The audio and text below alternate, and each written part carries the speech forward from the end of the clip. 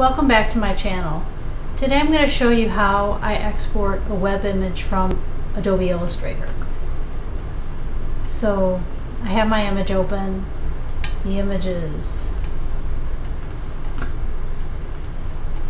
the image is 1200 by 630 pixels, which is the standard size for LinkedIn and Facebook uh, feed posts. So I go File, export, save as web legacy, and I normally choose JPEG high unless that's too large of a file size, but here I can see I can see the size and the load times. So if I compare a high image to a medium image, I can see that the medium image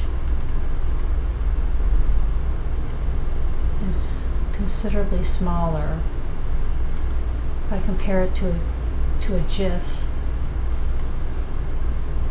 no, JPEG medium, I'm going to go with JPEG medium. Export, save.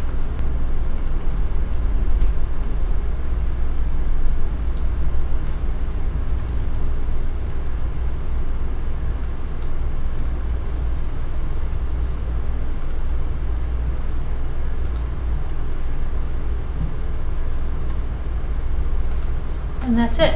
I have my optimized image saved from Adobe Illustrator. Please like if you learned something. Thank you for watching.